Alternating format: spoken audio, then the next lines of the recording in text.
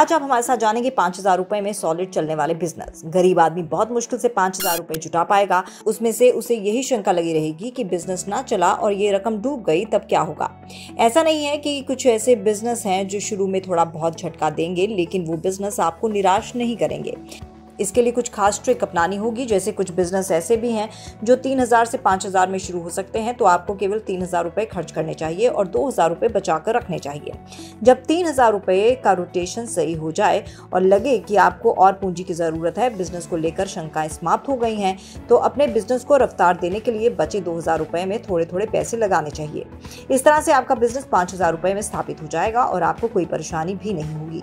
अब जानते हैं कि कौन से ऐसे बिज़नेस हैं जो पाँच हज़ार रुपये में शुरू किए जा सकते हैं। फास्ट फ़ूड स्टॉल शुरू शुरू में आप बहुत ही छोटे पैमाने पर अपना बिज़नेस शुरू करें। जितने कम से कम इन्वेस्टमेंट में बिज़नेस शुरू हो सके, उतने में करें। फास्ट फ़ूड का बिज़नेस स्कूल के पास मार्केट में किया जा सकता है।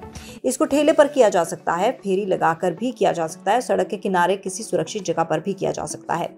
इसमें आप अपने इलाके के लोगों की मनपसंद खाने की चीज़ें बना सकते हैं। चने की चाट, ब्रेड पकौड़ा, मैगी मसाला, पूरी सब्ज़ी, रायता, समोसा चौमिन बड़ा पाव, इडली, सांभर, गोलगप्पे आदि का कारोबार शुरू कर सकते हैं। ये सारे काम पाँच हज़ार से कम में शुरू हो सकते हैं। पापड़, अचार बड़ी ये एक ऐसा बिज़नेस है जो घर से ही शुरू किया जा सकता है। इस काम के लिए आपको ना तो किसी तरह की ट्रेनिंग की ज़रूरत है और ना ही एक मुश्त पाँच हज़ार रुपए खर्च करने की। घर की महिलाएँ ही अचार, पापड़ बड़ी तैयार कर सकती हैं। इनको अपने शहर की दुकानों में आसानी से बेचा जा सकता है। इसके अलावा आसपास की मार्केट में भी इन्हें बेचकर मुनाफा कमाया जा सकता है। सब्ज़ी और फल। सब्ज़ी और फल ऐसी चीज़ें हैं जिनको प्रत्येक घर के लोगों की जरूरतें होती हैं। आप थोक मंडी में सामान लाकर उन कॉलोनीज में बेचें जहाँ से थोक, सब्ज़ी मंडी या फल मंडी काफ़ी दूर हो। उन कॉलोनीज में नौकरी पेशा वाले लोग अधिक रहते हों। ताज़ी सब्ज़ियाँ और अच्छी क्वालिटी की होनी चाहिए, साथ ही साफ़ सुथरी होनी चाहिए। आपको भी अपनी खुद की साफ़ सफ़ाई रखनी होगी। आजकल कोरोना काल है तो आपको मास्क अवश्य लगाना चाहिए। Tea stall. बाज़ार के कोने में आप छोटी सी जगह में एक छोटा सा टी स्टॉल खोलें, अच्छी क्वालिटी की, अच्छे फ्लेवर वाली चाय बनाएँ तो आपकी चाय की डिमांड दूर दूर तक होगी। अपने बिज़नेस को रफ्तार देने के लिए घर के सदस्य की सहायता भी ले सकते हैं, जो बाज़ार से ऑर्डर लेकर थर्मस से चाय की सप्लाई कर सके। चाय की दुकान सुबह सुबह से ही चलने लगती है। आपको दुकान खोलने के समय का ध्यान रखना होगा। ग्राहक की डिमांड के अनुसार समय पर आपकी दुकान खुल जानी चाहिए।